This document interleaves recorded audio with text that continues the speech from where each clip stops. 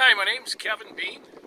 Kevin, and could you tell us how did you find Kona Honu Divers? Um, it was a recommendation from another uh, dive shop. Wonderful. And just wondering, would you recommend us to your family and friends? Absolutely. What a wonderful experience we had today. Uh, just uh, incredible.